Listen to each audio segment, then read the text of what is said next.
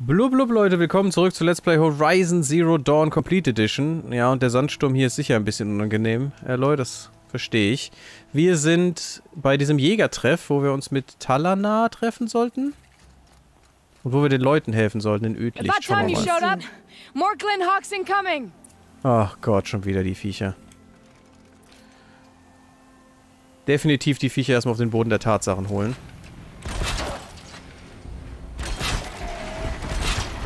Einfachste und schnellste. Komm hier runter. Oh, bleib jetzt bitte nicht da. Natürlich bleibst du da oben, du blödes Vieh.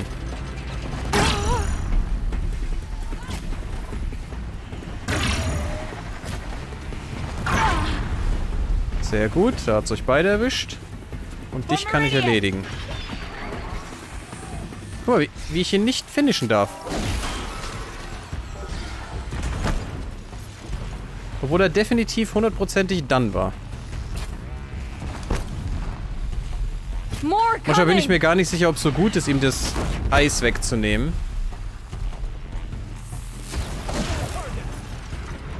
Weil er dann nur noch auf einen zusprintet. Das blöde Vieh. Ja, aber das Eis geht mir auch auf den Nerv.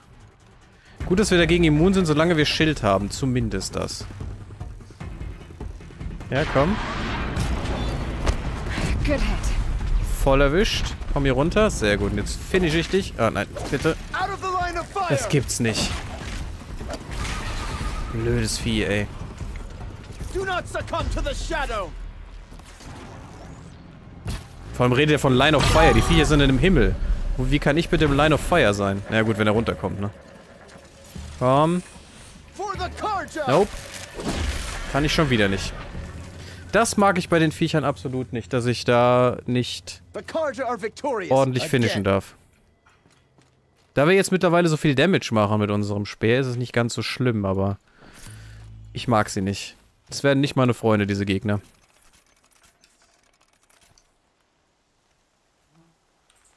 Okay, was haben wir jetzt? Jetzt müssen wir mit ihr reden.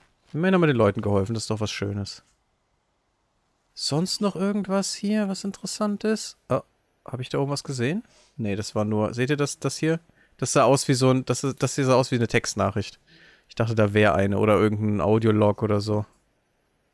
Da ist noch ein bisschen Crap wahrscheinlich. Ja, das interessiert mich nicht so sehr. Ich hatte echt auf irgendwelche Nachrichten gehofft. World Messages. Hallo. That seems to have taken care of them. But more always come. The soldiers at Morning's Watch don't even bother to fight them anymore. Seems like they're coming from upriver. I could track them back to the source. Oh nein. If more come here, I'll watch the village. You go ahead. I thought you wanted to do this together. You don't need me to hold your hand. Das stimmt. Trotzdem wäre es gut, jemanden zu haben, der sie ablenkt. Damit ich mich nicht so sehr mit ihnen beschäftigen muss, weil sie mir auf den Senkel gehen. The Karja are victorious again. Flussaufwärts. Richtig schön fand ich auch in den letzten Parts, dass wir dem kleinen Sonnenkönig-Nachfolger geholfen haben, Itamen. Und seiner Mutter. Das fand ich eine coole Quest. Und auch schön, dass es dafür auch eine Cutscene gab. Fand ich sehr schön gemacht. Obwohl es eigentlich nur eine Nebenquest war. Nur in Anführungszeichen. Aber es ist schön, wenn so viel Detail da drin steckt. Und es war ja eigentlich eine wichtige Begebenheit, die auch eine, eine Achievement gebracht hat.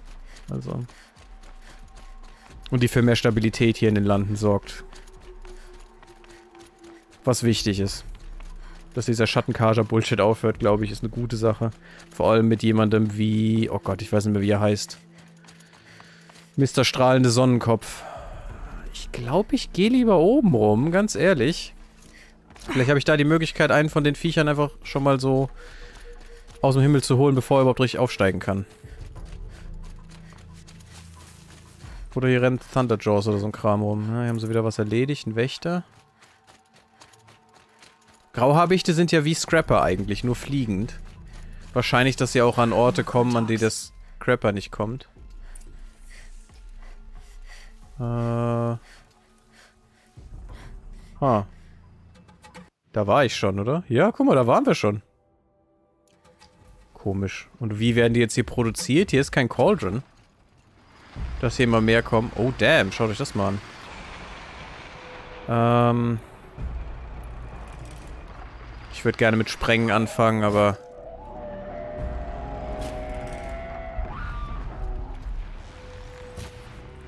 Die sind komisch. Oder ich habe sie noch nie von oben gesehen.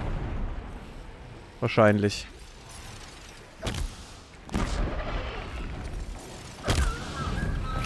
Another. Bam. Und jetzt bist du schon mal down. Na.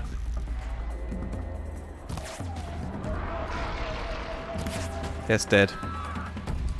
Wenn sie so torkeln, dann war es das für sie.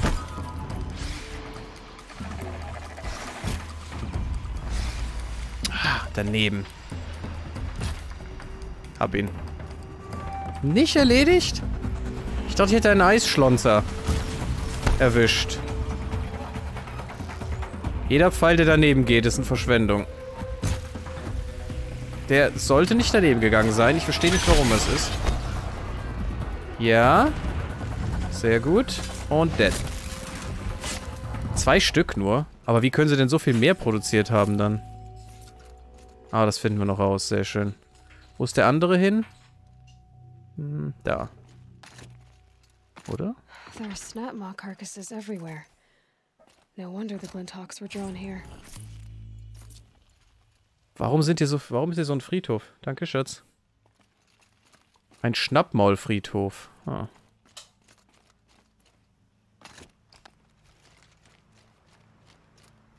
Interesting. Sehr viele. Als ob sie hier wirklich wie so ein Elefantenfriedhof zum Sterben hinkommen, so in etwa. Wenn sie defekt sind, dass sie dann hier hingehen, damit sie gesammelt sind und besser abgebaut werden können. Ich meine, das könnte im Code sein, dass es solche Friedhöfe in Anführungszeichen gibt, damit man halt nicht überall nach den Viechern suchen muss. Sie hat zwar genug dafür erstellt, Gaia, aber... Ich meine, ein Vieh, das down geht, von dem weiß sie ja nichts mehr. Whoever did this must have left tracks from the blinds. Amateurs will leave easy tracks to follow. Ähm... Weil, weil wenn irgendein Vieh offline geht, dann hat es ja nicht mehr auf dem Radar, so in etwa, ne? Makes it impossible to fight back. It's a cheat. And a wasteful one, too. Okay.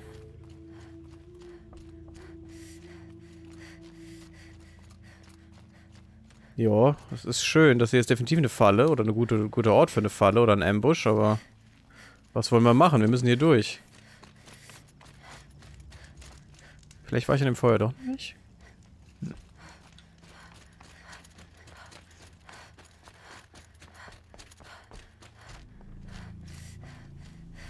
Okay.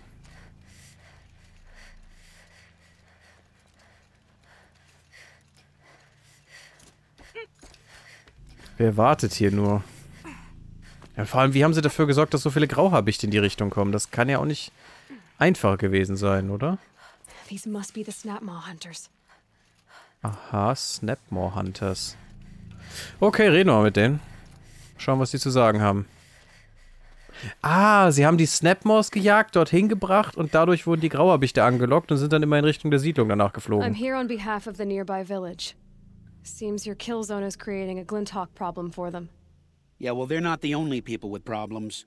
If we don't get enough Snapmaw hearts to pay off a loan, we lose everything. I don't follow. I borrowed shards to buy seeds. The harvest went bust, and now they're coming for the debt. We could lose the farm, our home. I'm sorry about that. But Glinthawks are attacking people because of what you're doing here. Not my problem. None of us are leaving until I get what I came for. None Wow. of us.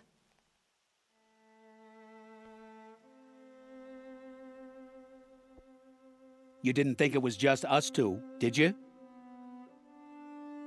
You already have one? Well, that's impressive. All right, then.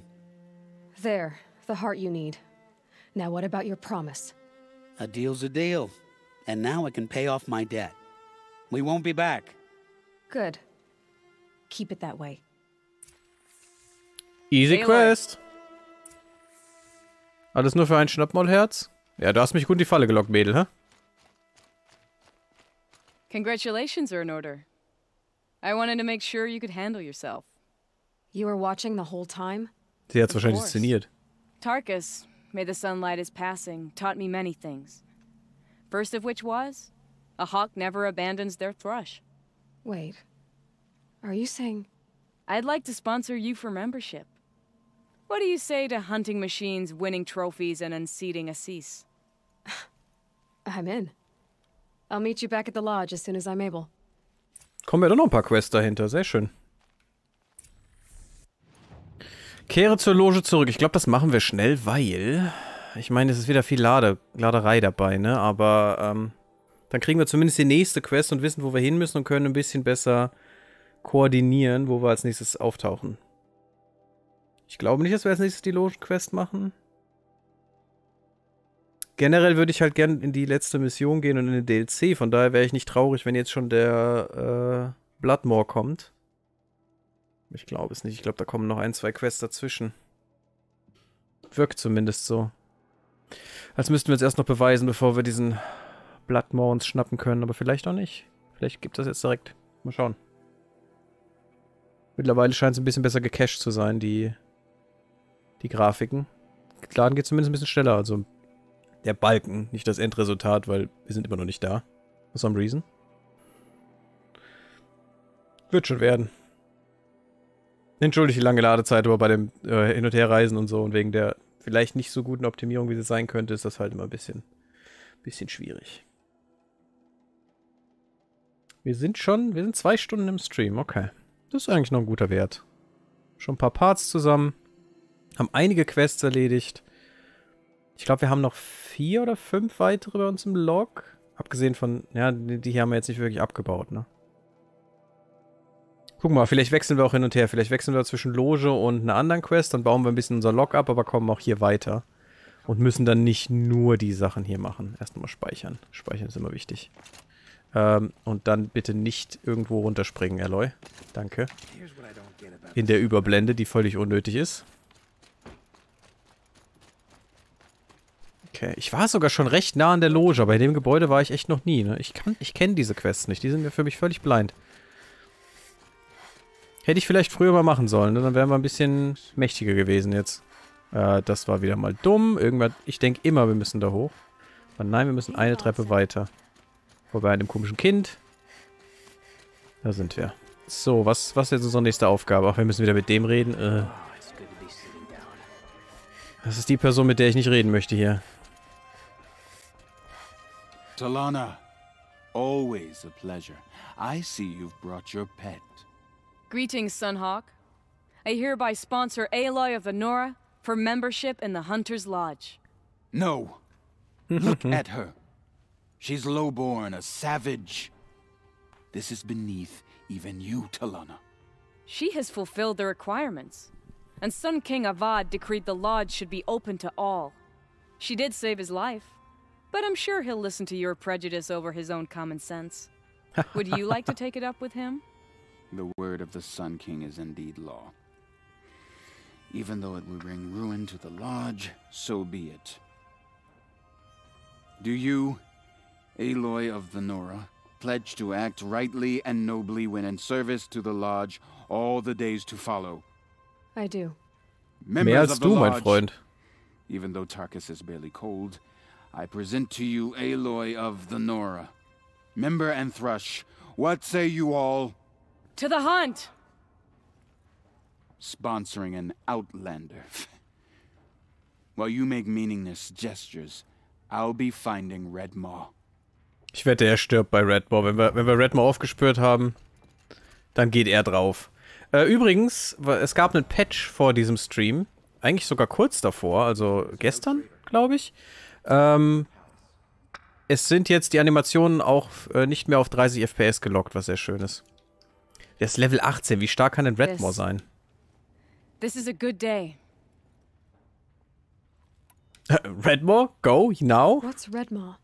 Few have seen it. A thunderjaw marked by years of battle. Some say it still bears the marks of over a dozen hunters on its flank. How many it has trampled along the way, we may never know. When members go hunting and never return, we often blame Redmaw. But to me, it's more than legend. It's the only machine that will unseat Assis.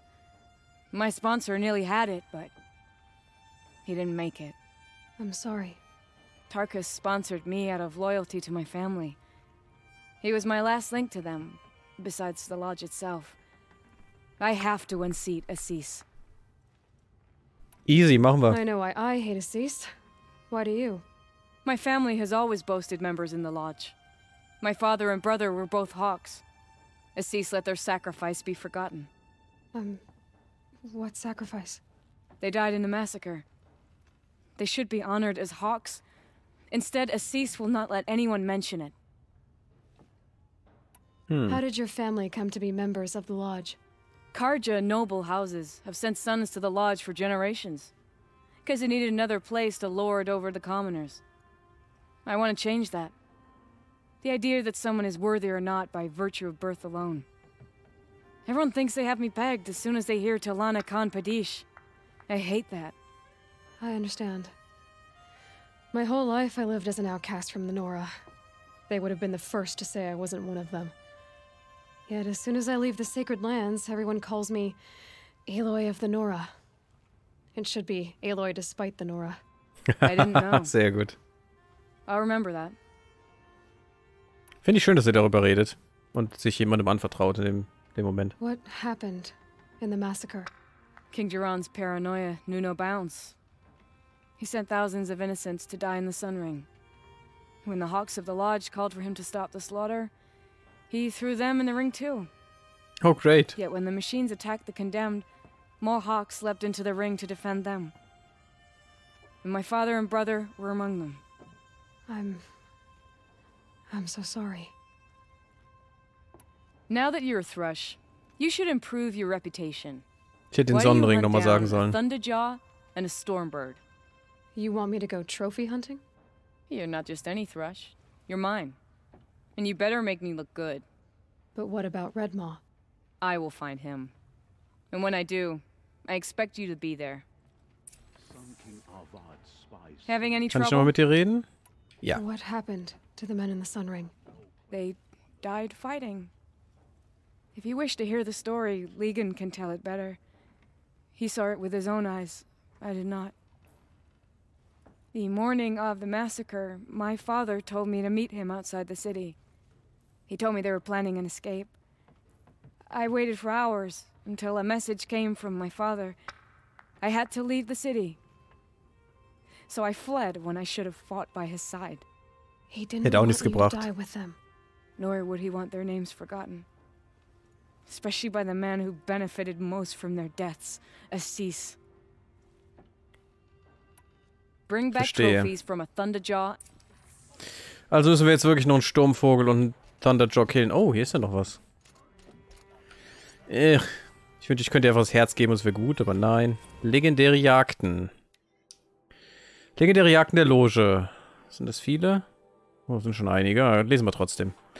Im Sommer des vierten Jahres der Herrschaft des Sonnenkönigs Mazid begab es sich, dass Farukawas Sonnenhabicht der Loge eine Herde von Grasern erblickte, die so gewaltig war, dass sie das gesamte Tal unterhalb des Weidrücks füllte.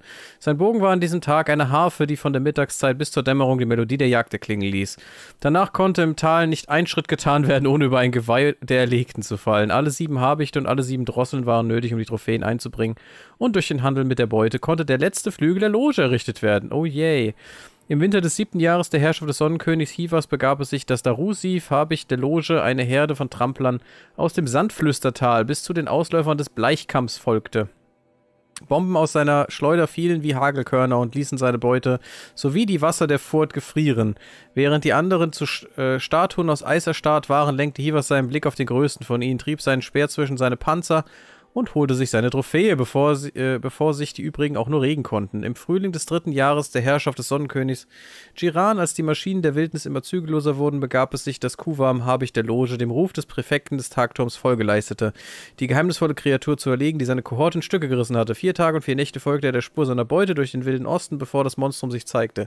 Stark wie ein Schnappmaul und schnell wie ein Läufer. Vom Anbruch der Dämmerung bis Mitternacht tobte der Kampf, doch Kuwam errang schließlich den Sieg mit schweren Verlusten. Sein linker Arm bis zum Gelenk zerfleischt, so gab er der Beste den Namen Sägezahn, als er seine Trophäe aus den zerschmetterten Überresten barg. Aha, das war der, einer der ersten wohl, der da ankam. Und deshalb heißt der so. Finde ich cool, dass das hier so drin äh, zu finden ist. Im Herbst des achten Jahres der Herrschaft des Sonnenkönigs Chiran, als die Maschinen der Wildnis immer zügelloser wurden, begab es sich, dass Gali Galidid, Habicht der Loge, dem schimmernden Tod, der die südlichen Ländereien heimsuchte, in die Dschungel des Juwels folgte.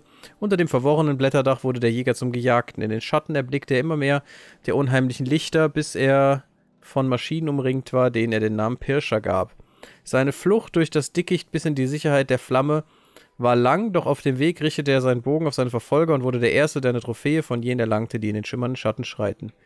Im Sommer des 13. Jahres der Herrschaft des Sonnenkönigs Chiran, als die Maschinen der Wildnis immer zügelloser wurden, begab es sich, dass Aziz, Habicht der Loge, es wagte, den Pfad aus zerborstenen Bäumen zu betreten und der Spur des schreck schrecklichen Dings zu folgen, das die Ländereien von Morgenlicht verwüstet hatte. So wurde er der Erste, der sich der Macht des Donnerkiefers stellte, der größten Maschine, die auf Erden wandelt. Mit Speer, Bomben, Pfeilen äh, und Pfeilen kämpfte der tapfere Aziz vergeblich und triumphierte erst, als er die Kanonen des schrecklichen Geschöpfs gegen es selbst zu richten vermochte. Der Kadaver hängt nun für alle sichtbar in der Loge, ach das Vieh. Als Heiligtum bewahrt, da sein Fall den Habicht zum Sonnenhabicht machte. Ja, natürlich lässt er sich äh, in den Himmel loben, ne, der kleine Drecksack. Unglaublich. Wir wissen ja, wo so ein, ein Donner, wo es Donnerkiefer und wo es äh, die Sturmvögel gibt. Hier nämlich nicht unbedingt. Wir waren eben da. Das war nämlich hier bei der Jägerloge irgendwo. Ich glaube, hier beim Großlauf-Jagdgebiet war das, oder? Ich meine schon. Da können wir uns zumindest den Sturmvogel schnell abholen. Schnell in Anführungszeichen. Das wird wahrscheinlich die letzten 10 Minuten des Parts in Anspruch nehmen.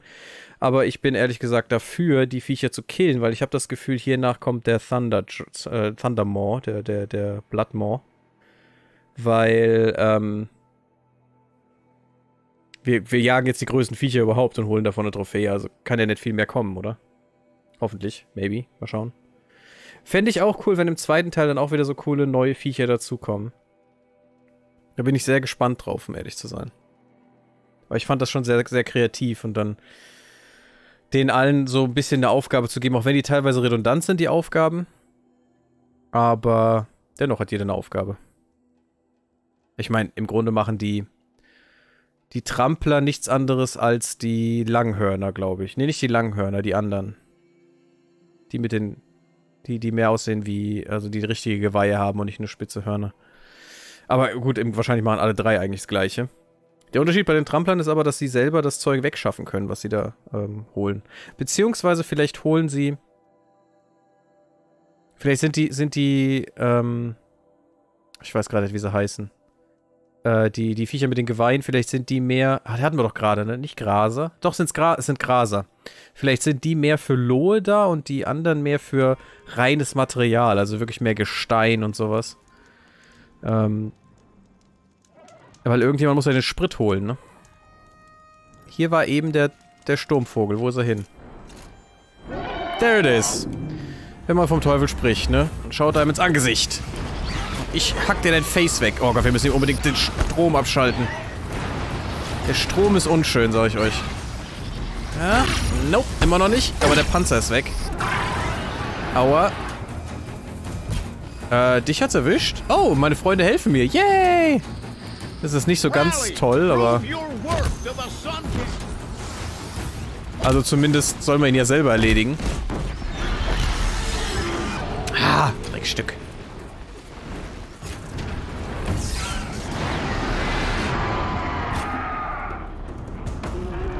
Glaube, ich muss die genau treffen, die Dinger, damit sie abfallen. Ah, da war eins. Er hat ja immer noch seine Energiewelle da. Ah, jetzt haben wir ihn damit. Und das hat ihn aber nicht lange geschoppt. Der Treffer war gut von dem, muss man ihm echt lassen. Right on time. Und die, diese, wir wissen ja, dass der Sturmvogel eigentlich auch, ähm, oh, ich kann ihn überbrücken? Uh, will ich ihn überbrücken? Wird er wieder repariert? Nein, ich will ihn nicht überbrücken. Nein, nein, nein, ich muss ihn, ich muss ihn ja abmetzen, den nächsten überbrücken wir. Ähm. Ah, gerade als er, als er hochgesprungen ist, der kleine Drecksack. Aua, das kann er ja auch. Ich hab ihn fast. Ich hab ihn fast den Hintern erwischt. schon, komm schon, komm schon. Ich will dich erwischen. Ah, der war doch, komm. Und wie der war, mein Freund. Aua. Er hat oben auch noch welche. Ich glaube, das sind Eiskanister. Ähm. Können das natürlich auch so machen. Oh, das geht immer noch nicht down? Wow, das Ding hält einiges aus.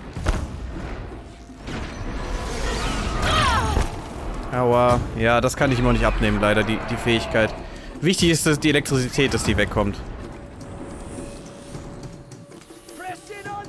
Äh, jetzt haut er ab. Aua, das hat wehgetan. Au, au, au. Ouchie, au.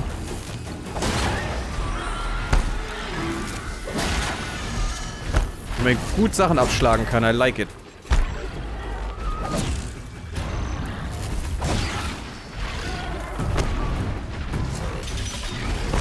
Na, na, na, na, na. Lass mir deine komischen Zehchen in Ruhe. Mit denen will ich garantiert nicht spielen. Autsch. Panzerung fliegt schon weg, aber nicht das, was ich will.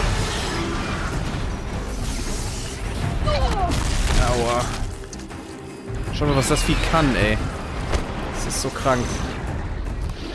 Ich hat's fast. Ich hat's fast. Ah. Ich weiß, dass ich... Ich habe das beim letzten Mal hinbekommen, die, den Kanister zu treffen. Und dann tut's richtig gut. Und es ist schön, dass wir ein bisschen Verbündete haben. Die lenken ihn nämlich ab. Ja, seht ihr, da war er schon wieder abgelenkt. Obwohl er eigentlich losstarten wollte, das kleine Drecksschweinchen. Fliegende Schweinchen, das er ist. Sollte passen. Hat nicht gepasst. Au. Das hat immer noch nicht gepasst. Damn it. Ist nicht einfach, Leute. Ist nicht einfach, den hier richtig zu treffen. Ah, jetzt habe ich ihn. Und den habe ich auch. Alles down? Jetzt ist er weg. Ja, das ist eine eklige, ekelhafte Attacke von ihm. Da trifft er fast immer. Ah, ich hätte... Oh mein Gott, was zur Hölle war das denn jetzt gerade? Ich glaube, er hat seine Düse eingesetzt und hat gemerkt, dass er nur eine davon hat. Dann... So, jetzt hast du nicht mehr viel, mein Freund.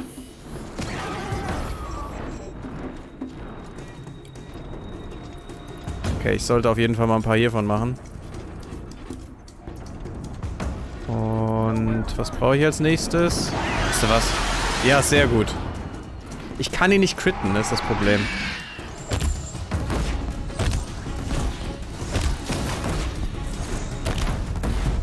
Hätte jetzt in Brand stecken können, ist das Gute, aber ich bin doof und hab's nicht gemacht. Okay, weißt du was? Komm hier runter. Gotcha. Ich brauche nur einen guten Schuss. There it is. Now you're done. Plop. Hi, hi, hi, hi, hi, hi, hi. Das ist so gut. Vor allem, weil er dann noch brennt, wenn man das macht. Sehr gut. So habe ich ein bisschen mehr Lohe erhalten. Ich habe die Trophäe. Jetzt brauchen wir nur noch einen Thunderjaw. Das Problem ist, der hier ist einfacher zu besiegen als ein Thunderjaw, weil ein Thunderjaw ständig auf einen zustürmt. Und das ist richtig eklig. Ähm, okay. Okay, okay. Wo haben wir einen Thunderjaw? Ich liebe es, gegen diese Maschinen zu kämpfen. Das ist einfach so cool. Äh, da ist der Donnerkiefer. Ah, nehmen wir den gerade. Ist okay. Das Schlimme ist, dass ich den jetzt auch überbrücken kann. Ich muss mich wirklich zurückhalten, ihn zu überbrücken. Wirklich. Weil ich so gerne würde, weil es so cool ist, wenn man die Viecher auf seiner Seite hat. Vor allem, wenn die voll ausgerüstet sind noch und der seine Scheibenwerfer hat, damit ist der so unbesiegbar. Das ist so krank. Das ist wirklich High Priority Target. Wenn ihr gegen Thunderjaw kämpft, die Scheibenwerfer an den Beinen hinten, die oben drauf sitzen, sofort entfernen. Die zerreißen euch. Das ist seine stärkste Waffe. Neben dem Trampeln und den Kanonen am Kopf, aber. Die Dinger kriegt man schnell weg. Ein so ein, so ein Pfeil. Äh, wenn, man die, wenn man den Bogen ein bisschen aufgerüstet hat, wie man sieht, geht das mit einem Schuss und dann ist das gut. Ist aber krass, ne? Ich hatte eigentlich gedacht, dass diese Zersprengerpfeile das sind, was, man, was am rasten ist. Aber jetzt ist Lo am, am, am wirklich am, am seltensten zu finden. Gut, ich mache auch die kleinen Maschinen immer so auf platt, ne? Ich gehe jetzt nur noch gegen die großen und die fressen nicht nur viel, sondern das sah cool aus. Ach, das ist er hier. Ja, wunderbar. Okay.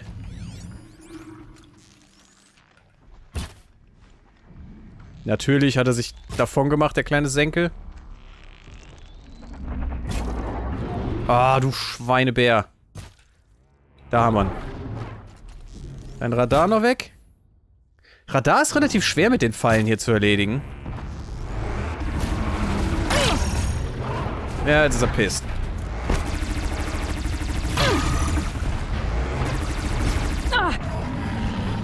Also ich würde sagen Scheibenwerfer und dann noch die Kanonen vorne. Dann ist man ein bisschen besser dabei. Weil ihr seht, wie schmerzhaft es sein kann. Ein Radar würde ich auch gerne entfernen. Ich habe noch nie gesehen, dass dann einsetzt, meine ich. Aber ihn zu entfernen kann zumindest nicht schaden.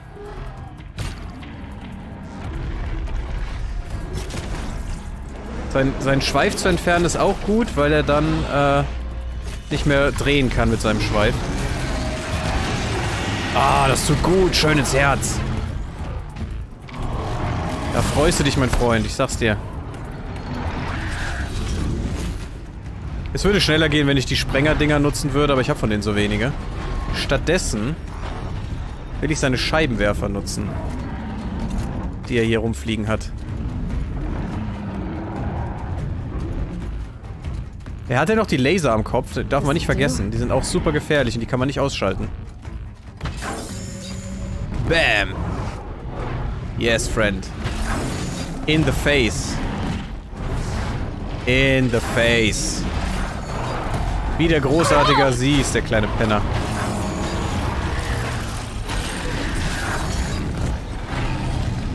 Uh, der war schön. Äh, jetzt habe ich Zeit, den anderen Scheibenwerfer zu suchen. Weil ich nicht genau weiß, wo er hin ist.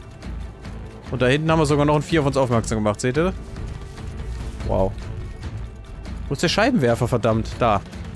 Da unten.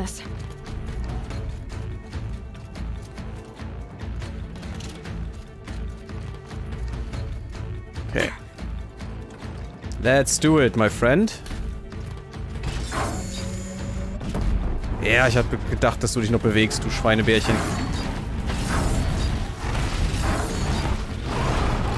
Macht so einen guten Damage, die Dinger. Yes, das war nice. Das war gut. Und da geht er down. Sehr schön. Da haben wir das schon erledigt. Wunderbar. Ich glaube, wir ziehen jetzt noch kurz und holen uns das Ende der Quest ab. Die drei Typen, ey. Ihr hättet euch mal ein bisschen schneller bewegen können. Ich hab gesehen, dass ich einen Thunderjob platt mache. Ihr seid keine Kaja in Shadow, also stell dich mal nicht so an. Läuft bei dir. Dankeschön, Sapsi. Yay! ja, wenn man die Waffen gegen sie einsetzt, dann ist das echt gut. Genauso wie beim Verwüster die Kanone oben drauf. High Priority Target. Absprengen und ihn dann möglichst... Hoffentlich ist er alleine. Ihn dann möglichst zu fokussen damit. Weil wenn er nicht alleine ist, dann sprengt er die ganze Zeit die Viecher in den Rücken. Und egal was es ist, man ist so langsam und kann nicht ausweichen mit der Kanone, dass man immer was abbekommt. Aber einen einzelnen Verwüster kann die eigene Kanone super gut aufhalten. Weil die hat eine gute Stoppwirkung gegen ihn. Weil sie ihm die Panzerung absprengt, dann werden die immer ein bisschen gestaggert. So, reden wir gerade noch mit ihr, danach beende ich den Part und beim nächsten Mal schauen wir doch mal, was wir machen. Ich wollte eigentlich immer abwechselnd das machen, ne? aber das war jetzt so easy peasy. Oh, wirklich? Okay, Leute, beim nächsten Mal. Dann reden wir mit ihr und dann gucken wir, was dann das nächste Quest kommt. Schauen wir mal. Ich freue mich auf euch. Bis dann. Tschüss.